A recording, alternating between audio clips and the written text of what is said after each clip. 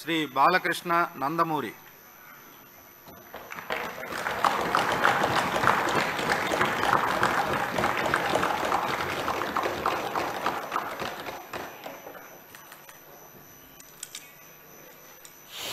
నందమూరి బాలకృష్ణ అని నేను శాసనసభ సభ్యునిగా ఎన్నికైనందున శాసనం ద్వారా నిర్మితమైన భారత రాజ్యాంగం పట్ల నిజమైన విశ్వాసం విధేయత చూపుతానని భారతదేశ సార్వభౌమాధికారాన్ని సమగ్రతను కాపాడుతానని నేను స్వీకరించబోయే కర్తవ్యాన్ని శ్రద్ధాభక్తులతో నిర్వహిస్తానని దైవసాక్షిగా ప్రమాణం చేస్తున్నాను.